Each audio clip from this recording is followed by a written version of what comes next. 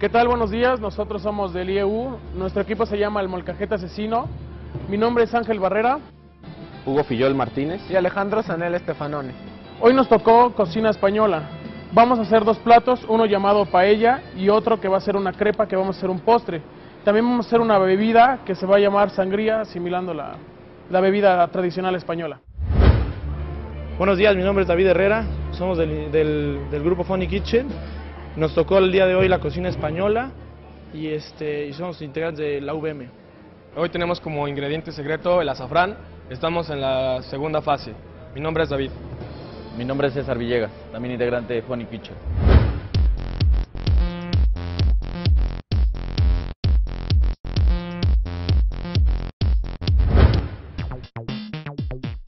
Bueno, agarra unos cuantos, ¿no? Sí, acá están las bolsas. Agarra unas, ¿no, Sanela? Igual para marinar nuestros ingredientes y que suelte el saborcito. ¿Con dos naranjas? Sí. El secreto, pues, es el trabajo en conjunto, en equipo, conocimientos. Y pues tratando de hacerlo mejor. No, ese es este arándano, ¿verdad? Sí. Flor, acá está. 35. No, está muy cara. Aquí vamos a comprar costilla de cerdo, que es también para acompañar la paella. No, mi amigo, ¿sabes qué? Voy a querer hasta acá, de aquí hacia arriba. Sí, sí, se excedió en tamaño y también buscamos que no haya ninguna merma. Tiene que ser un arroz precocido para la paella, para que a la hora de la cocción, como es, es muy caldoso, tiene que cocerse perfecto el arroz y no se tiene que batir. Un vino blanco, porque a la hora de agregar el vino tinto, si se lo agregamos a la paella, nuestra paella va a ser amarilla. Queremos una tonalidad por el, para el azafrán y como es el ingrediente principal, no queremos matar el color y con el vino blanco transformaríamos todos los colores dentro de la paella. Y no podemos sustituirlo por ningún ingrediente, ¿verdad? Todavía tenemos tiempo. Entonces vamos a dejar un camarón y agarramos el vino. No, para bajarlo en, en cuanto a productos. Ah, ok. ya no- Y ya no lo llevamos. No, ya no. Igual sí nos alcanza para la jamaica, ¿eh? Pero sin el vino. Sí, sí, sin el vino. Buenos días. Buenos días. Sí, muchas gracias.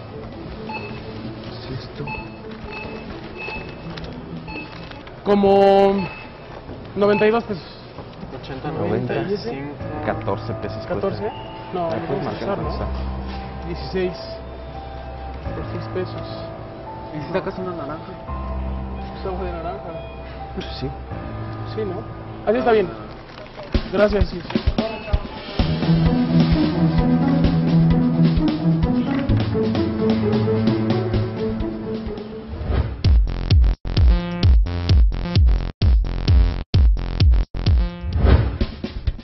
Andar cargando. Pimientos. Uno. Más bonito, cabrón. uno guapo. échalo, échalo. Vas a agarrar un tomate bola, ¿no? No, los No, tomates están de allá no, tomate, ese es más caro también. Ah, sí, están, están muy cañones esos. Lo vamos preguntando, ¿a ti qué te falta? ¿A ti qué te falta? Pero obviamente no te acuerdas en el momento, como estás pensando en tantos tiempos, no te acuerdas de realmente lo, si te falta algo del primero, si te falta algo del segundo. Entonces, Es que no te van a vender menos de, de cebollín. Ve.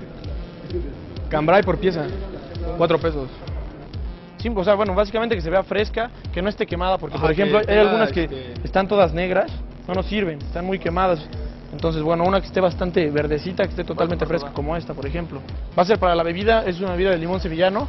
Aquí básicamente que los limones no estén duros, que se sientan bastante jugosos y con eso es suficiente. Que bueno, la cocina española como tal, nosotros no la, no la manejamos muy bien, al 100%.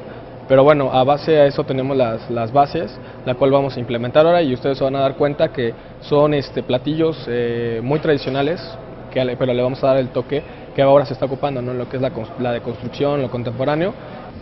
Vamos a llevar una de estas. Dos de estas, ¿no? Vamos allá para la, las carnes frías. No, ahorita vamos a comprar jamón serrano, porque vamos a, en el- la entrada, en la primera entrada que es la del gazpacho, vamos a meter una tierra de jamón serrano en el plato para, para adornarlo. Aquí está, güey, ¿a dónde vas? Uy. Este es el mismo problema de la vez pasada con el arroz. Precio. Precio. Yo calculo que llevamos como unos 70. No, no, no, más, No, como unos 70. ya, ya llevamos como 80. como 90. Si no podemos hacer un cubo, hacemos un rollo. O sea, los- largo, o los- o largo, los largo, cortas de los dos O lados. los podemos enrollar, los mochamos a la mitad y los pagamos. Sí, pues, güey, ¿qué te estoy diciendo, güey? Acá estamos discutiendo, bueno, qué presentación le vamos a dar precisamente al pescado. El problema es que necesitamos un pescado firme, porque lo que queremos hacer es realmente un cubo, queremos con el bacalao en un cubo.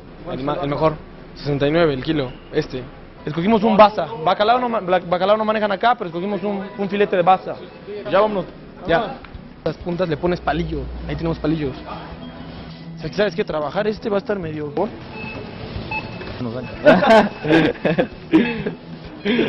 No me puedes cobrar menos. 82. No nos das cambio. Vámonos. no nos dio cambio,